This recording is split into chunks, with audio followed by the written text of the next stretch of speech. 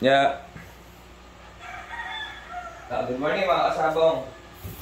It's 4 a.m. in the morning. Uh, yung araw-araw na ginagawa ng mga tao ko dito. Uh, nagpapakaskas at saka nagbabata para sa mga na ini-schedule na naka-schedule na mga events. Okay, ah I-ano ko mamaya yung tungkol sa job block. Ah, nag-perform silang napakaganda, no? Actually, nakapag nakapag-vlog na ako dun sa Joe Black bago pa yung event namin last ah 8 last July 8. Ah, July 5, sorry. Saka oh, last July 5. Ngayon, ah talagang ah ini ini ini ini nila, tawag nito. Nire-request nila na ma, ma ano ko ulit, may post ko ulit yung vlog history ng Joe Black ngayon.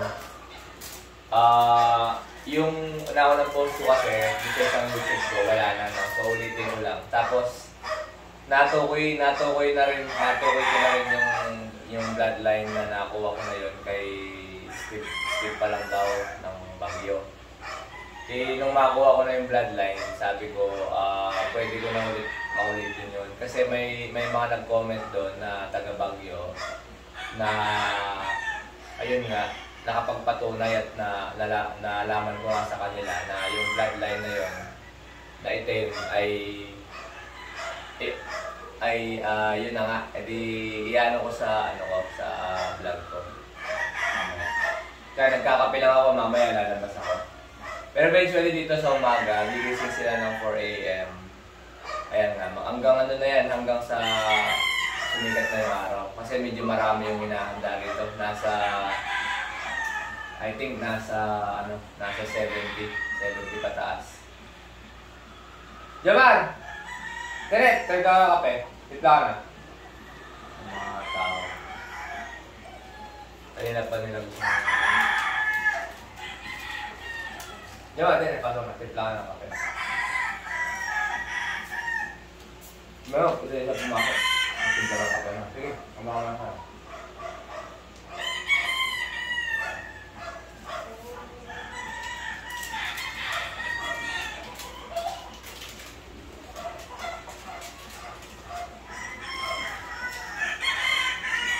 Jaman yung mga binabago, binabaka.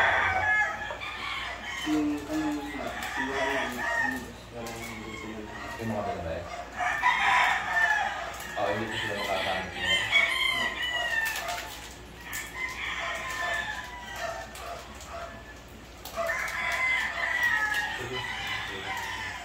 Ito kape nito.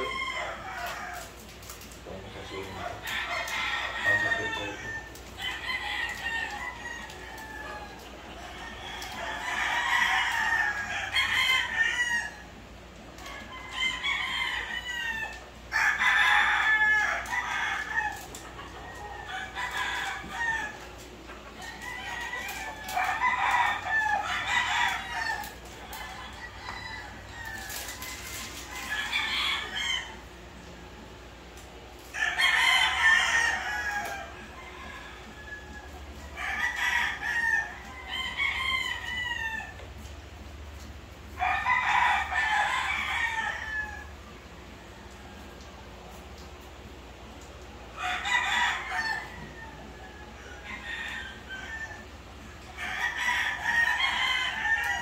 Paglabas mo, tawagin mo isa-isa, no?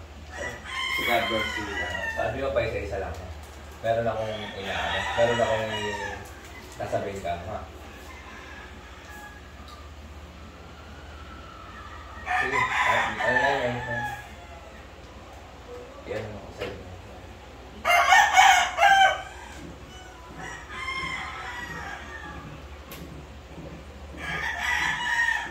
Pagpagawin lang yung ano nyo, no? Yung pinaka-access dito lahat, no? Saka yung binabatak, lalo na yung binabatak, no?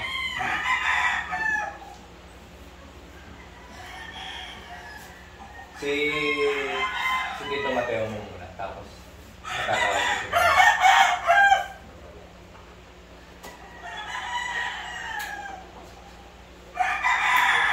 Si ano po yun, si Jomar. Pinaka ano ko yun, pinaka bago dito yun. Hindi naman bago, hindi naman bago na. Pero siya yung pinaka huling nakapasok dito.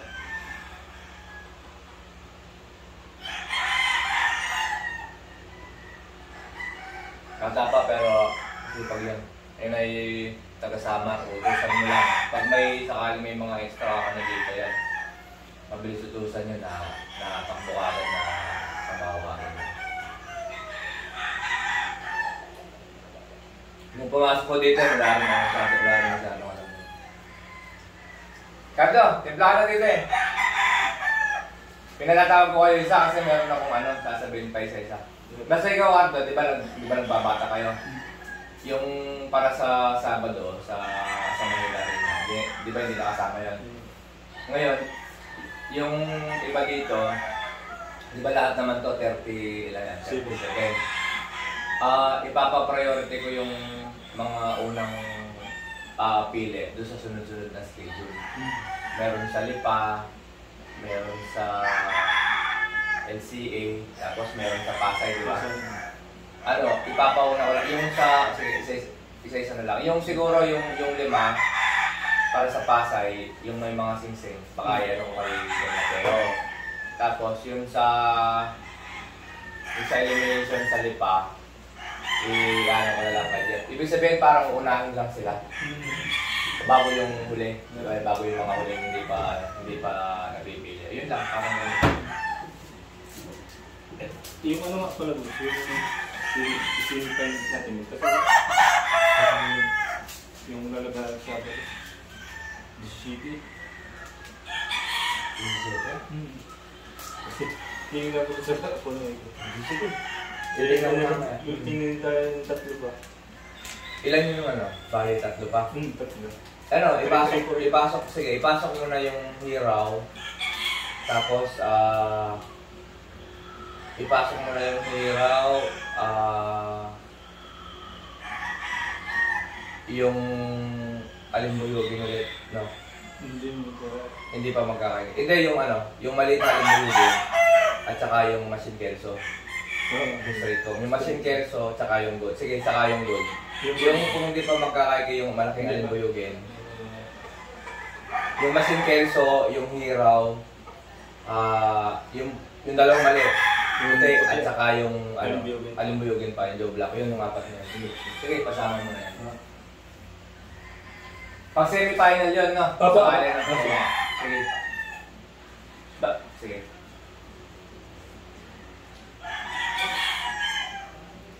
Meron po kaming ano, elimination kami sa Manila Arena, no? Sa, sa. Tapos, this is, ah 15 po kasi yun. 7, eh, hindi ko nakakita schedule nung, ano, 70 na nga pala daw yung, ano, yun. Kaya may paano na.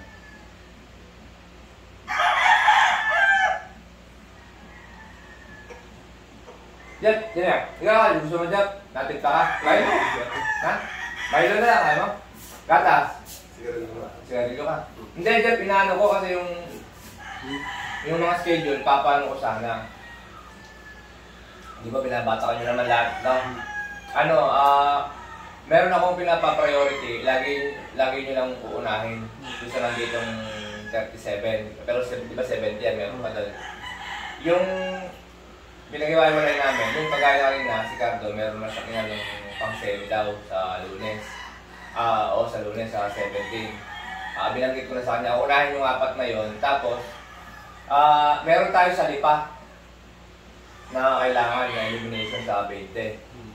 Ah, mamaya, ipipili kita dyan ng ano, gagamitin sa lipa. Iuunahin mo lang lagi sa bata nyo. No? O yun lang. Tapos yung kay Mateo naman, pa, sa kanya ko na ipapasa yung para sa papasay. Okay na. Sige. Ayaw magkape. Sinapay. Hindi. Sige.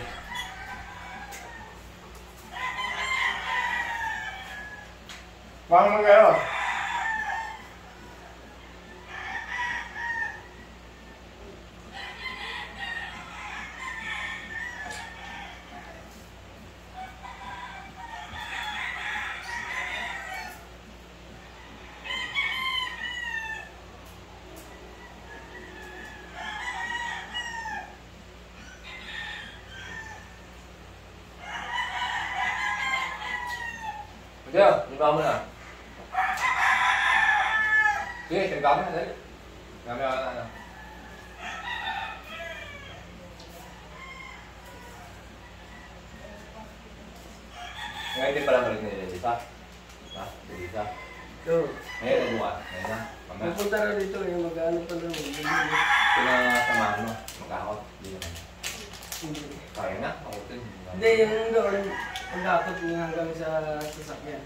Oh, ito yun nga. May sabi.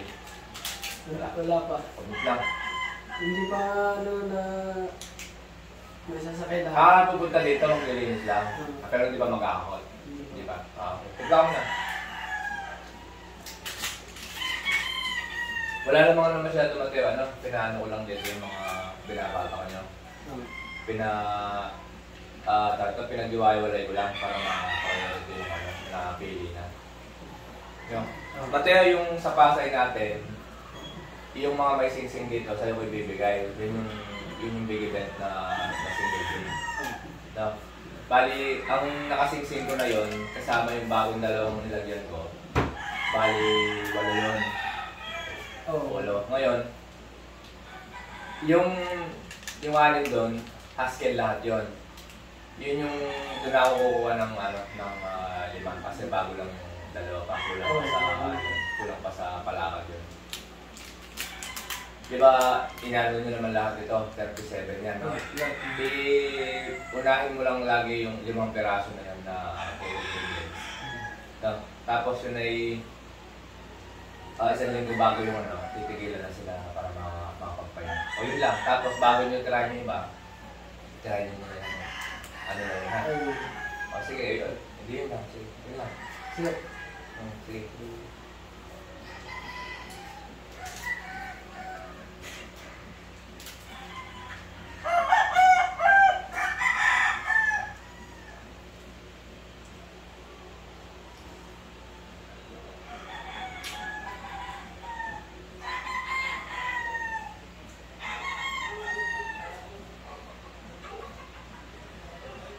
Yun po si ano si ano po yun, si Mateo yun.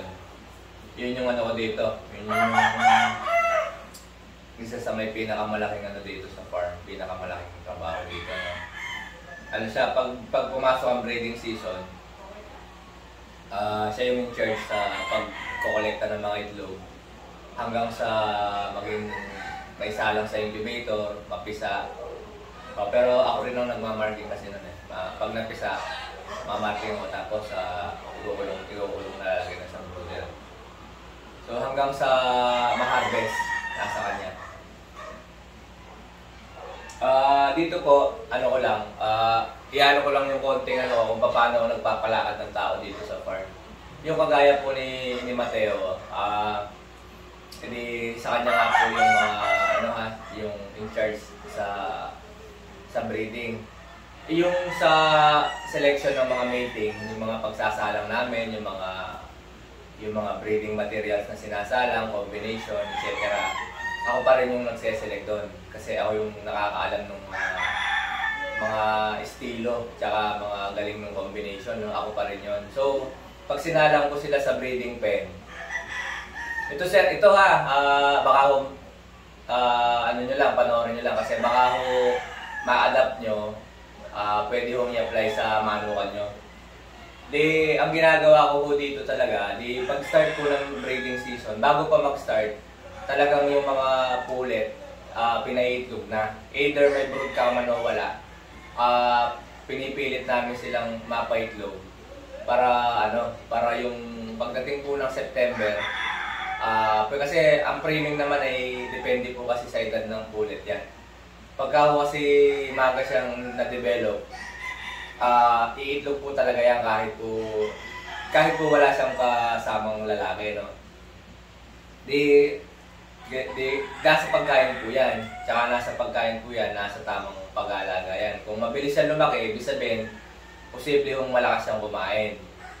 O ganun po, ga, ganun po yan sa growing stage ng mga manok. Ano, di pagkasalang po namin, pagkasalang po sa mga mating, ah yung si Cardo, siya yung in charge sa feedings ng mga nakasalang, ng mga binibreed. May ano po dyan eh, lagi pong meron kaming ano dyan, ah, breeder pellet na nilalako dyan.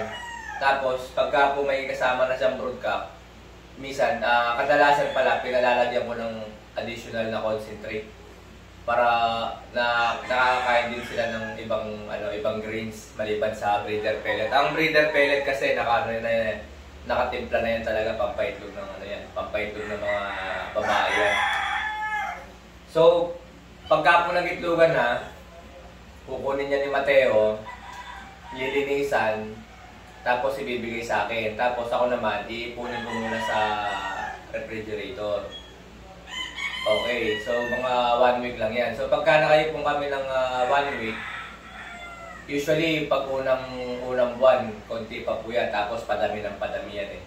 Okay, pag nakaipon kami ng, ng one week, isasalang ko na ngayon. Prior dapat na kailangan mapisa sila October. Hindi er, hindi pwedeng mas maga, hindi pwedeng ah, sobrang late naman. So October talaga, pwede po yung second week o yung kagaya ko kung kung kung kaya yung kontrolin yung grow, ah, growing stage ng isang ano sisiu ah first week October talaga kung kung kaya nyo. kasi ako dito talagang napaka ano namin napaka precise namin na hindi sila pagdating po ng banding month hindi sila malagasan ng primary feathers so pwede, so ako minsan ako kaya ko pong kontrolin yung growing ah, growth stage nila growing nila sa through feedings lang. So, ibig sabihin, pag gusto kong medyo bumagal ang paglaki, i-lesen, kukuntihan ko yung pakain. Kukuntihan ko lang ang pakain, more on, ano sila, more on tapon sila sa range para magtrabaho sila sa ano sa lupa. Kaya ko silang maghanap ng pagkain, magutom. Ngayon, pagka naman po nabanded na, doon ko po lalakasan yung ano, lalakasan po yung dadamihan po yung pakain para po bumulusok ngayon sila sa paglaki. Ano po ha, ito po, ito po yung ginagawa ko dito. So sabi ko nga po, hindi naman po kami, hindi naman po lahat ng breeder ah ay, ay pare-parehas. So sa akin po, kung sa tingin nyo makakatulong sa inyo, i-share nyo lang po ito sa mga handler nyo. Ito, kaya po, itong video ko na ito, mapanood po nila ito, Kunyari, nasa abroad po sila, kayo na ah, nasa abroad po kayo, sila nasa ano, hindi po nila ano, hindi po nila alam pa ang gagawin. Ito baka po makatulong. Kaya po sabi nga, importanteng maano nyo po yung video, matapos nyo yung video.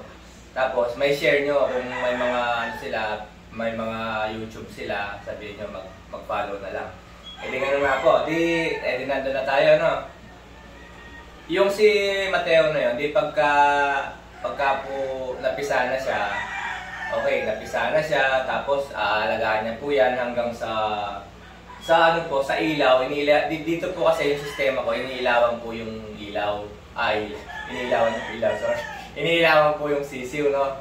Ah, two weeks lang po sa, ano, sa lagay namin ng mga sisiw. Tapos, after two weeks po, ibababa na po siya sa may lupa lupa na buhangin po yung tambak namin dito. Buhangin. Ah, buhangin tapos ah buhalaw. Yung pong buhalaw sa ibabaw. Di pagka po nadudumi yung tayo nila sa buhalaw, ah tsaka po pinapalitan yung buhalaw weekly. So dito po kasi sa, dito sa area ko, marami po dito kaming kamag-anak na ano, nagtatanim ng palay. So, hindi naman po problema yung buhala. Baka po sa inyo, ano po sa inyo, sa iba kasi marami yung kusot eh. Marami na po sa iba yung kusot, yung mga ano ng kahoy, pinagkiskisan ng kahoy. Pwede rin po yun, kung ano po yung ano, kung ano po yung okay okay na available sa inyo, pwede na rin po yun. Ang purpose lang, ang purpose lang naman din po namin doon sa buhalaw na yon.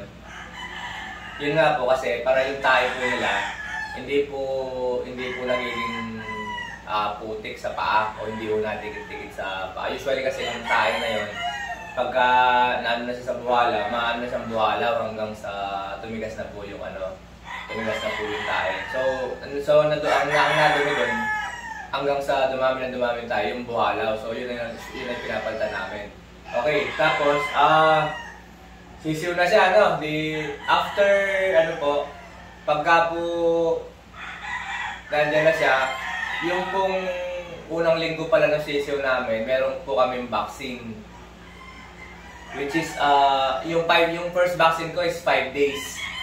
Yung vaccine ko na yon ay B1, B1 at saka Gumboro. Yun lang muna. Tapos, after po ng 2 weeks, ay bubooster ko po sila ng uh, Lasota at saka ng uh, Gumboro booster. Meron din pong Gumboro booster. Kung hindi ako magkamali, yung gamit ko dun, isa dun ay I think uh, D70. Ito double check ko na lang po kung sakali PPM ko na lang sa mga magtatanong ng mga brand ng ginagamit ko. No? Kasi wala naman po akong in-endorse pala. No? Wala naman po akong in-endorse. Kaya po sabi ko, wala naman akong specific na ano. Pero yung ginagamit kong mga mga gamit dito, sila lang yung pinaka the best. Kagaya po nung yung kung sa B1 namin, uh, B1 with IB yun. Ang, ang ano po niya is uh, MA MA5 Chrome 30. Napakahirap pong hanapin. Ayaw ko naman sabihin yun, ang, yun din ang gamitin nyo kasi baka hindi naman kayo makahanap. Talaga pong in-order pa namin sa Metro Manila sa mga kilalang bet. May, may, may kaibigan din akong bet na nasusupply sa akin. Yun, pwede kong endorse yun. Si Ballesteros, si RJ Ballesteros. Si Doc RJ yan. Yan ako kumukuha ng ano ng uh, vaccine. Tapos, uh, di ba, di pagdating po ng uh, two weeks, bubooster namin si, uh, bubooster ko muna sila. Tapos, after po nun, uh, pwede ko na pong uh, sunod another one week, yung pong para sa Paul Pax. Okay, yung Paul Pax, halos pare-pares lang po yan pagka Paul Pax. Importante sa Paul Pax yung tamaan ng mabuti yung uh, web niya para pumasok po yung ano ng uh, pangontra sa bulutong. So ang isa pong palatandaan diyan pagka po natamaan siya ng maganda sa sa pagbabaksin niyo po ng uh, foul pox. Ma after po ng mga 3 days lang, makikita niyo po yung ano dito, yung pinagtusukan niyo na balat sa may ano niya. Uh, ano po siya, parang bubukol po siya parang magkakaroon po siya ng uh, nakabukol na parang tigyawat. Yun, yun na po yung ano na tumama po yung ano tuso niyo ng ganyan. Ito po ay kung kukunti lang po yung ano nyo ha. Kukunti lang po yung mga alaga nyo na monitor nyo. Kung sa kung sa kagaya po namin na hundreds at saka thousands yung mga ginaganyanan, hindi ko na po yan na-check, hindi ko na po na-check isa-isa pa yan uh, pinag-iigihan na lang namin yung mismong yung mismong araw na lalagyan sila ng titirahin sila ng ano ng foul pox vaccine. Okay, di pagka po pumatak sila ng dalawang buwan, minsan na uh, ano lang po, minsan 6 weeks lang po. Depende po sa laki nila. Uh, tsaka ako na po sila ipapa-alpas dun sa ranging area. Doon na po sila lalaki hanggang sa ma-harvest po sila ng 4 months. So, pagka, pagka, pagka 2 months po nila, bago sila, o 6 weeks, bago po sila alpasan sa range, binibigyan na po namin sila ng Coryza vaccine. Yun yung kauna-unahang shot ng Coryza. Coryza vaccine. So, after po nun, alpasan na sila sa, ano, sa range. After 1 month, huhulihin po ulit sila, titirahin na naman po ng another na shot ng Coryza vaccine. Patas po ng patas ng dosage. So, from 2 months, 0.2. Pagdating po ng 3 months, huhulihin ulit, titirahin ulit, 0.3 naman. Tapos, yung pong harvest namin dito, uh, kasi po sabi ko nga, magkakaiba po kami ng pamamaraan. Dito po, gusto ko na-harvest ng 4 months. Kahit po alanganin pa, hindi, kahit po hindi pa siya tatsaw o yung uh, nag, nag, nag, nagililiri, yung mga ganun na. Sa iba po kasi gusto nila harvestin nila yung ano, yung manok nila, yung parang makikita mong tatsaw na siya talaga. Kaya lang, uh, ako kasi ayaw ko lang ayaw ko lang sabihin uh, may negative side eh. May negative side pero ayaw ko sabihin ganito na hindi maganda, hindi magandang harvestin yung stand na ganun. So, depende din po talaga sa nag-aalaga. Ngayon, ang purpose ko naman po kung bakit ako nag-harvest ng 4 months, ito yung side ko. Uh, yung pong manok na ma-harvest ko ng 4 months, hindi naman po magbabago ang feedings namin dyan. kung ano pa yung pinapakain namin sa, ah, sa kanya sa edad na 4 hanggang 6 months, yun pa rin po yung pakain.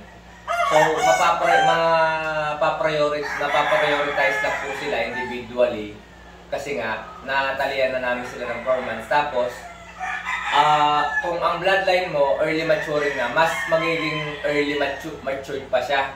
At the age of 5 months, pwede na siyang maglaban, hindi siya umaayaw. So, yun po yung isang purpose ko dyan, na early maturing na yung bloodline mo, tapos, mas lalo pa siyang maaga maglalaban kasi nga, maaga, maaga mo siyang hiniwalay sa mga kasama niya. So, sa lahat po ng mga nag-harvest, so mga nag-breed na mga ganito, mga mga Texas, ah talaga pong unang-una bago sila mag-breed, lagi po yung una, isa sa mga tinatanong minsan ng isang mag-gusto mag-breed, yung lalo na mag- maglalaban sa stag, ah inaano po nila kung early maturing kasi nga, kailangan ah stag pa lang, masubukan mo na. Para sa akin ha, dito kasi gusto ko stag pa lang, nasubukan na natin. Tapos, pagka po nag-perform sila, maganda pong record nila, tsaka po natin ah pagugulangin. So, may mga breeder po, ito, respect lang po ha. Sa may mga breeder po na sila naman, gusto nila magpagulang. So, it takes, it takes years talaga. At saka patience talaga. Tapos, eh, sa pagpapagulang kasi para sa akin, ah, kaya ako, kaya kami wala kaming masyadong kape. Kasi sa akin, system talaga piniperform na, uh, dinidistribute na. Tapos, ah, usually ang nagulang dito, kung alin yung mga naipanalo namin, kung alin yung mga sinalang namin, ganun, yun lang yung mga ginagamit namin din pagdating ng tax season. So, kung marami akong na nailaban na stag, sa madaling salita, marami akong ma, ano, marami akong mapapagulang, parang ganun. Tapos, ah yun naman iba, yung mga selected ko na hindi naman na nilaban, bin rating lang, yun din, kasama din yun. So, sa iba naman, ah kasi marami, marami po dito sa nanonood ngayon, OFW sila, mga seaman, sila po usually ah maglalaban lang po sila pag uuwi sila. So yung sa kanila po talaga ah, karamihan gusto nila mapagulang. May may breed sila, may breed, may breed ng mga tauhan nila, mga hunter, farm manager nila habang wala sila. Tapos pagdating nila, tsaka sila pwedeng lumaban. So sabi nga po may kanya-kanyang ano tayo talaga. So respeto lang, respeto lang talaga. Di, et- eto na nga po, no? Di, pagdating naman po dito sa mga, ano ko, dito sa mga tao ko nito, yung nga si, uh, babalik ako kay Mateo. Di, pag na-harvest na ni Mateo yon ah yung mga stocks na yon madidistribute na ngayon din sa mga tatlo. Meron dito pupunta sa conditioning area na hahawakan naman ni Cardo. Tapos meron pupunta sa Pregon area, Pregon area. Ang area ko actually hawak din ni Mateo eh. Ako din ni Mateo. So talaga kay Mateo mula ano yan, mula itlog hanggang sa ma, ano siya, matalian. Ngayon, may mga si Jeff hawak niya yung mga mga malted namin. Mga malted namin. Kasi yung mga malted, ano, alam niyo po, hiniwalay ko po yan ng isang tao. Dahil hindi po sila pwedeng pabayaan. Ay siyempre, yung mga malted po na yun, yun po yung mga binurod ka namin. Binurod ka, mga nanalo, mga mga mga, mga importanteng mga materyales. Kaya ko hindi ko pwedeng itapon na lang sa isang ano yan, sa isang side yan. Tapos ah, basta-basta na lang uh, bibigyan hindi kailangan nababantayan din po yan. Kasi ang season, ang season po kasi ano naman yan eh. ah sunod-sunod po yan. So hindi hindi pagkatapos hindi, hindi naman natigil po yan. Pagkatapos ng stag, kailangan po meron na po nagpe- nagpe-prepare doon sa mga bull stag, sa cocks, at saka yung mga lugon, yung po yung mga lugo na yun. So, hindi po sila pwedeng kain baboy. Hindi po gano'n. Kaya kailangan ko minomonitor, tsaka binabantayan, pinapaliguan po pati. Para ma- mas ma-force mode sila, at saka mas mabilis po silang makapagpalit ng balahibo. So, dapat din po talaga meron kayong ah, instruction. Kung, kung, kung hindi naman ganun karaming tao nyo, meron kayong instru- instruction doon sa sa mga manok na, na ganyan, na tapos na sila. Basta tapos na silang mapakinabangan sa isang sa madali salita. Okay, tapos dito naman kay Jomar, ah sa kanya din naka yung isang bago ko, sa kanya ko na naka- nakalagay yung mga bagong harvest naman na hindi hindi pa papasok sa pre-con. Okay. E di ganito. Tapos, edi ang ginagawa ko po sa mga tao ko, ganito. Para po, subukan nyo po, no, ito, ah, nanonood kayo, no, ito po yung ano ko dito, no, ginagawa ko. Subukan nyo po, baka po ito makatulong sa inyo at makapag, makapag-alaga kayo ng taong tatagal kayo. Dito po, pagka po nag-harvest kami ng stags at age of 4 months, okay, ha-harvestin ngayon ni Mateo yan. Ngayon, dahil sabi ko nga si Mateo, malaking obli- obligasyon niya, ah binigyan ko pa sila ng extra. So, ganito po, anong extra? Ito po yan. Kapag ka po, meron na silang buwanan sweldo, no, monthly. Eh, yung, pina, yung pinaka mababang sweldo pong binibigay ko rito, yung mga bago, o yung kukunti yung obligasyon, ah 5,000. Tapos, ah meron pong mga, ano yan, meron po akong binibigay na pang-ulam nila, ay, pandagdag sa pang-ulam nila, weekly, tapos libre po bigas. E di, e di, e po, yung pinaka pinakamababa ay lima, tapos pinakamalaking ah may sweldo rito ay walo sa isang buwan, monthly, no? Tapos, ganito po yung extra. For example, ah yung si Mateo, yung alaga niya kasi mula itlog, magiging sisiw yan, magiging kakarels, haharvestin. Ngayon, pagka po na-harvest na yon, kahit po naipasa na sa isa, kasi pagka-harvest niya, kakarel pa lang, palalakihin pa. Binabantayan pa rin po ni Mateo yan. Kasi si, kung sino po yung mga nauna dito, sila po yung ah, maalam na kung ano po yung kailangan gawin pagka po may napapabayaan. So yun po ay tinuro ko din sa kanila. Tinuro ko din po sa kanila. Ngayon, babantayan ngayon ni Mateo yan, kakarel na nakatali na siya hanggang sa mag-fully develop siya tapos ipapasok siya sa kanya ulit, which is Freegon. So pagka po pinasok na siya sa kanya, Freegon, ibig sabihin, ako naman po, makikita ko na po kung yung harvest namin na yun is, one, is 100%, 100%, sabihin mo ng 90%, talagang good quality siya kasi hindi siya nagka-sipon, hindi siya nagkasakit, tapos ah, na- yung yung katawan niya, um, ma-harvest ang ano, napakaganda. Doon pa lang sa pagiging kakarel niya, ah bilog na yung katawan niya hanggang sa makarating sa pag pagpiprikon. Okay na siya, no? Yun po, ah binibigyan ko pa siya ng additional na 5K para dun sa harvest o para dun sa good good quality ng harvest. Sa ano pa lang po, sa isang batch pa lang po. Wala batch, batch po yun ng ano, batch po yun ng ah batch po yun ng early bird. Tapos sa batch ng ano, batch ng local, batch ng national at batch ng late born, ganun din po. So alam so yung isang tao na yun, specific na tao, sa kanya, alam niya na meron pa siyang additional na extra makukuha kung ma-harvest din ng maganda. So hindi lang hindi lang inalagaan sa sisiu tapos pinapag nasa iba na wala na siyang wala na siyang pake. Kaya po yung iniwasan ko doon, yung, yung isa, isa sa mga dito ay isipin ng pagkatapos niya sa role niya na yun, wala na siyang pake dahil naipasa na siya sa iba. Hindi po, dito hindi. Kasi dito magkakasama po yan. Okay. Okay, dito naman, pagdating sa conditioning, hawak naman ni Gardo, no? So, alam naman natin lahat. Basta naglaban ka, may permit ka. Okay, di yun na nga po.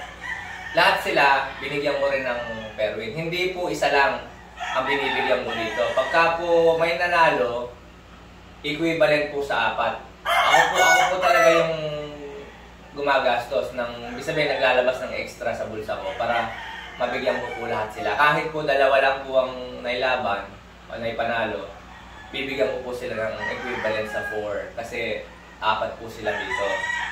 Okay, another yon. So magastos po ito ha. Ito po, sinasabi ko lang pero hindi ko sinasabing gayahin nyo. Pero sabi ko nga kung kaya nyo, subukan nyo kasi baka makapagpa-maintain kayo ng taong mahigit sa dalawang taon pa. Ayan po kasi lahat po ito nasa dalawang taon. Wala pong mababa sa dalawang taon pataas dito. Tapos ah, ayaw na pong magsialisan. Kasi hindi po, hindi po nila ito makukuha sa ibang farm. O hindi po nila ito makukuha sa ibang farm. Marami pong cases, ah, mga nagtatrabaho sa farm na umaalis, magkakaibang dahilan. Ito, sinishare ko dito sa akin to. Okay, tapos pagka po, alam nyo naman, dito po marami akong kliyente, marami pong napunta, nagpa, nagpa-farm visit, nabili. Ayun. Lalo na po yung mga nagpa-farm visit. Yun, yun, kapag po may dumating dito, may kumuha yan, naaabutan na naman sila. So, ang dami po niyan. So, na, so depende po minsan kung gaano karami kukunin o gaano ka konti. Minsan, pagka isa lang, minsan nagiging dalawang kliyente bago ko sila mabigyan. Pagka naman may kliyente kukuha ang halos puno ang sasakyan, malaki-laki din po yung inaabot ko sa kanila. Extra na naman yon. So sabi ko nga, lahat po ito, alos ni iniino ko sila, inaano ko sila na ma-equalize ko sila para hindi po nagkakaroon ng selosan. Tapos, pinaghihiwa-hiwalay ko po yung mga obligasyon nila para po kung merong isa dito na pagkulang sa, ibig sabihin, nakaka, nakakalimot siya sa mga obligasyon niya, hindi niya nagagampanan.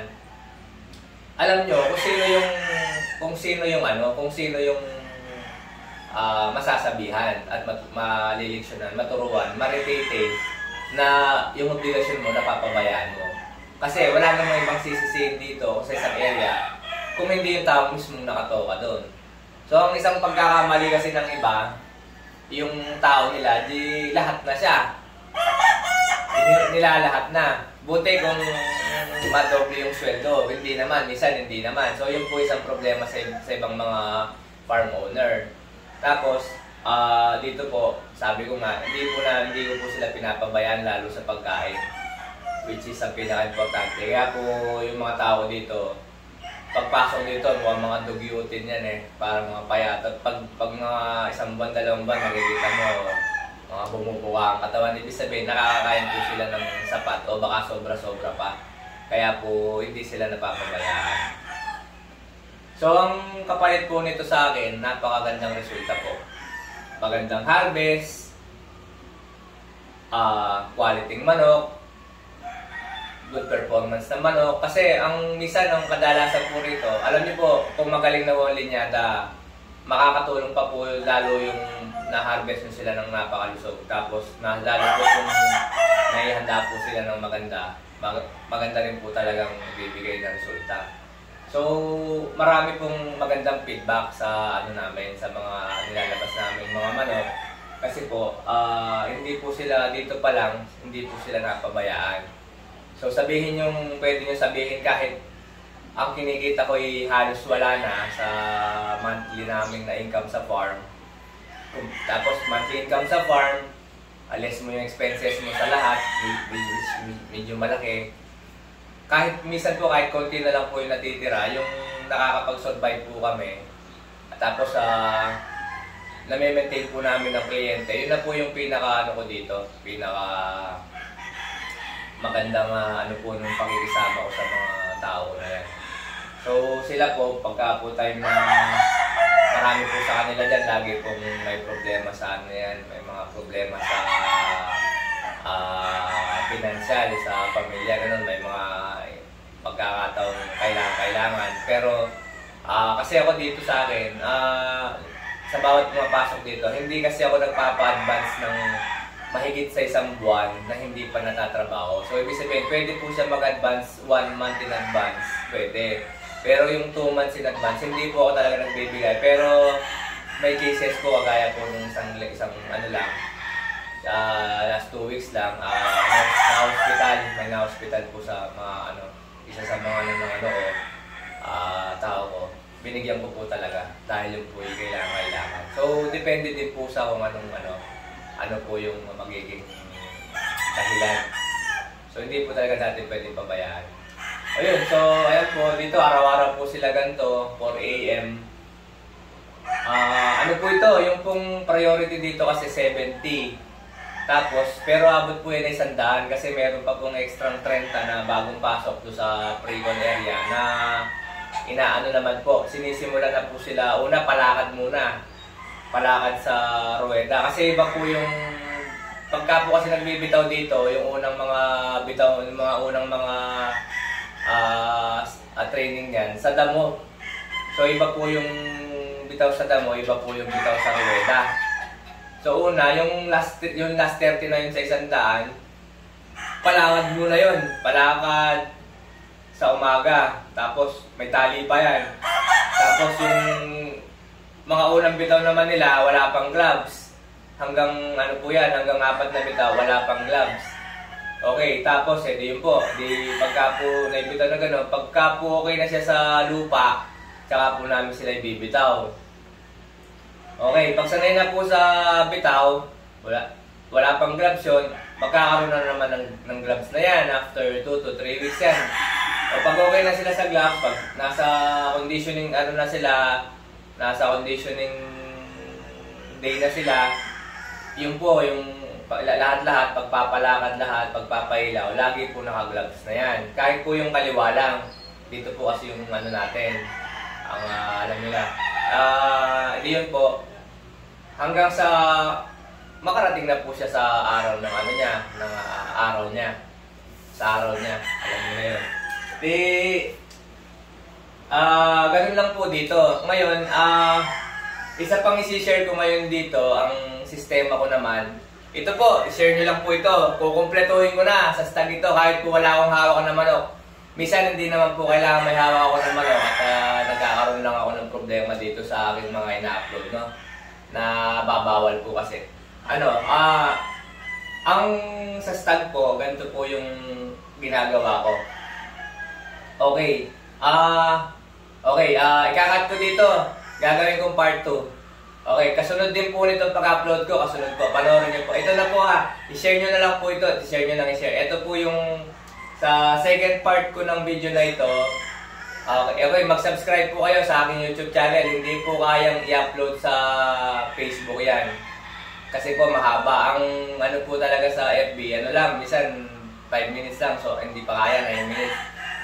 Dito, dito po sa YouTube ko na bago, bago na po lahat halos ng i-upload ko dito. Ah, yung ito po yung mga na-upload na, na hindi ko na ano, na hindi ko po na upload noon. Yan, sa start po ganito. Okay, part 2. Abangan nyo.